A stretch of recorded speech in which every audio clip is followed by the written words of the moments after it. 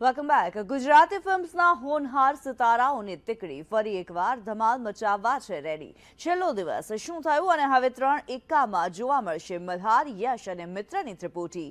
ફિલ્મની શાનદાર song launch event પર કરીએ નજર. બે આ શું સેવન્ટીઝના પિક્ચર જેવી વાર્તા છે? અમીર બાપની છોકરી ગરીબ છોકરો.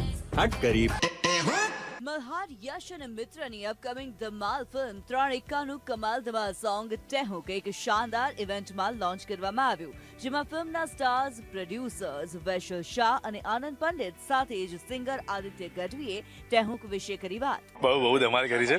મારા માટે ડાન્સ આમ ડિફિકલ્ટ હોય છે. ગરબા હોય તો હું મસ્તી કરેલું પણ ડાન્સ બહુ ડિફિકલ્ટ હોય છે, પણ એની મહેનત એ સ્ટેપ્સ કુણાલભાઈની મહેનત ઇવન મ્યુઝિકને સાંભળી સાંભળીને વારંવાર એમાં ઘૂસવું, એટલે મજા બહુ કરી છે, એટલે ઓડિયન્સ એન્જોય ખૂબ કરવાની છે. માંડ માંડ નાચ્યા છીએ અમે ત્રણે એટલે મિત્ર તો તો પણ થોડો કમ્ફર્ટેબલ હતો.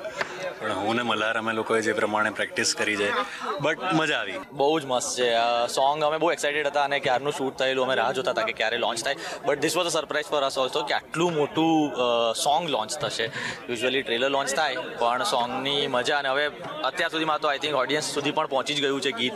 એટલે બહુ મજા આવશે. બહુ બધું ટેહુક કરો, બધા ભેગા થઈને ફેમિલી જોડે ડાન્સ કરો ફ્રેન્ડ બહુ જ બહુ જ ડિફરન્ટ સોંગ હતું કારણ કે આમ જોવા જાઓ તો તમે જેવું સાંભળશો એટલે તમને ખબર પડશે બહુ ફન સોંગ છે જેની ઉપર તમે ડાન્સ કરી શકો જેની સાથે ગાઈ શકો અને તમે ઝૂમી શકો એવું સોંગ છે. એટલે આમ કંઈ બહુ જેને કહેવાય ને કે તમને પ્રિપરેશન માટે બહુ ગંભીરતાની જરૂર નહોતી. આમાં આ સોંગ ગાતી વખતે પણ મેં એન્જોય જ કર્યું છે. આ એક્સપિરિયન્સ એકચ્યુઅલી મારા માટે પહેલી વાર હતો. મેં આવી રીતે ગુજરાતી ફિલ્મમાં સોંગ લોન્ચ હજુ સુધી નથી કર્યું.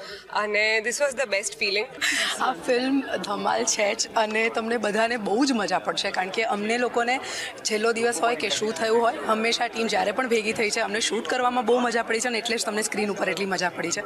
બસ એક બહુ જ અમેઝિંગ લાગી રહ્યું છે. સ્ક્રીન પર બહુ જ બહુ જ અમેઝિંગ લાગી રહ્યું છે અને ત્રણેય એકા સાથે છે. અને અમે લોકો રાણીઓ પણ એમના સાથે ડાન્સ કરીશું it's a very peppy song and everybody talented people have work with it Aditya ગઢવીએ ગાવ્યું ગાયું છે કેદાર ભાર્ગવે મ્યુઝિક આપ્યું છે. અને બધા જ અમે લોકોએ બહુ મહેનતથી ડાન્સ કરે છે. દર વખતે અમારો પ્રયત્ન એ હોય છે કે ફિલ્મની અંદર અમે કોઈ મનોરંજન લઈને આવીએ અને જેમાં ઇમોશન્સ હોય, ડ્રામા હોય કોમેડી હોય ફેમિલી વેલ્યુઝ હોય, તો આ પણ એક ફેમિલી એન્ટરટેનમેન્ટ છે. ત્યારે ઓલવેઝ એક આપણા ફિલ્મને કે આપણા કામને એક એપ્રિસિએશન મળે, એ તો ઓલવેઝ ગમતું જ હોય છે. એટલે પાછળ સરકારે અમારી જે બે હજાર સત્તરમાં ફિલ્મ આવેલી કરસનદાસ પેન્ડ્યુઝ એમાં અને શું થયું? આ બંનેને સ્ટેજ એવોર્ડ મળ્યો તો બસ એની લાગણી તો આનંદદાયક હોય જ. એટલે yes that that is a proud moment for all of us film ઇન્ડસ્ટ્રીમાં બે વસ્તુ છે એવોર્ડ અને રિવોર્ડ પણ જ્યારે બંને મળે ત્યારે વધારે ખુશ થવાય છે. એટલે definitely it was a very proud moment કે સરકાર તરફથી સ્પેશિયલી એવોર્ડ મળે અને પબ્લિક તરફથી રિવોર્ડ મળે. એટલે ઇટ્સ અ વેરી સ્પેશિયલ આ બિગ સોંગ લોન્ચ ઇવેન્ટમાં સિતારાઓ ટેહુક સોંગ પર ઝૂમતા અને દર્શકોને જમાવતા જોવા મળ્યા. કિન્નરી શાહ સંદેશ ન્યૂઝ અમદાવાદ.